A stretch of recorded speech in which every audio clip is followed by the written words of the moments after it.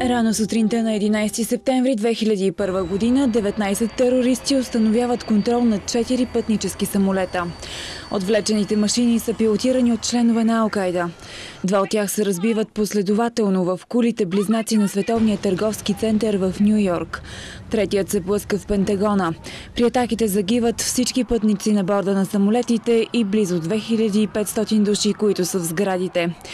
Два часа след като самолетите се врязват в Световния търговски център, Кулите се сриват до основи. Само четвъртият самолет не успява да достигне целта си, за която се твърди, че е била Белия дом. Атентатите, които отнеха живота на близо 3000 души, се превърнаха в повратна точка във вътрешната и външната политика на Съединените щати. Вашингтон започна сериозна борба с тероризма. Специални военни части нахлуха в Афганистан.